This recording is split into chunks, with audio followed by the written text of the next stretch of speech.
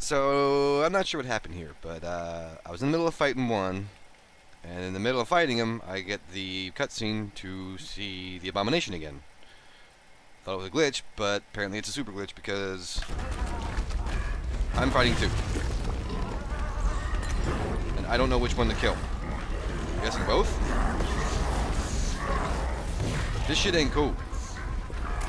Because I got stuck in the cutscene, and this one's tearing me a fucking new one.